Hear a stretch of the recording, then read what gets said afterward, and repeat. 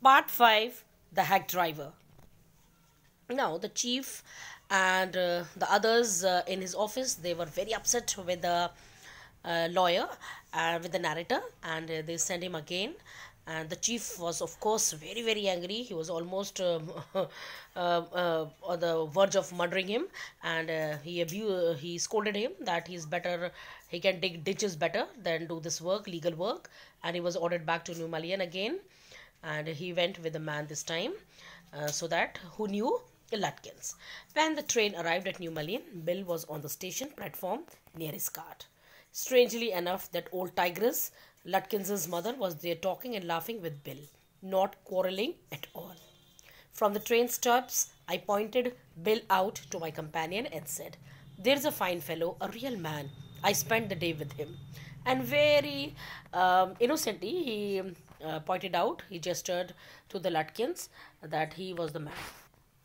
He helped you hunt for Oliver Lutkins? Yes, he helped me a lot. He must have. He is Lutkins himself. And they said, yes, he must have helped because he's Lutkins himself. What really hurt me was that when I served the summons, Lutkins and his mother laughed at me as though I were a bright boy of seven. And now the lawyer, he was totally disappointed. He was hurt. And finally, when he was serving the summons to them, Lutkins and his mother, they laughed at him as if he was a boy of seven years old. With loving kindness, they begged me to go with them to a neighbor's house for a cup of coffee. And finally, they begged him, they requested him to have a coffee. I told them about you, and they are anxious to look at you, said Lutkins joyfully. And then Lutkins said that I told them about you.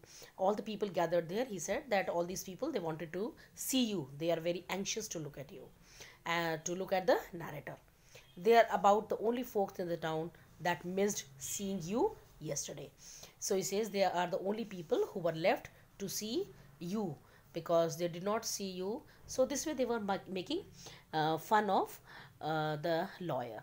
So we see that uh, the, the narrator, how uh, though he's a lawyer, and uh, we can see that uh, he means he's such a great. Uh, uh, the, he had come uh, to the New Mullion for such an important work, but he failed to be very careful in carrying out his job, and he appeared to be a novice. He was so new, and he was not a seasoned legal mind. He was not very experienced legal mind. He only had the romantic view of country life, of the rural life, and we see that how he is easily uh, crooked by uh, uh, Oliver Lutkins. And this Oliver Lutkins, he was so dishonest and he was a crook in the real term. And he had a great talent for dishonesty. Uh, though he was living in such a small town, New Mullion, uh, but he had a marvelous uh, talent to trick and even mislead a lawyer who was living in the city. So we cannot say that uh, all the people who those who live in the country uh, side, those who live in the villages, they are very simple. They are very novice or they are very naive. We cannot say. Uh, rather, they are smart sometimes. So this is what the message we get that we, if whatever work we are doing, we should be very very experienced. Uh, we should not let the people know that we are not experienced or uh, we are fools. Mm, We should see the other side of the things also. So this is all about the lesson, uh, the hack driver.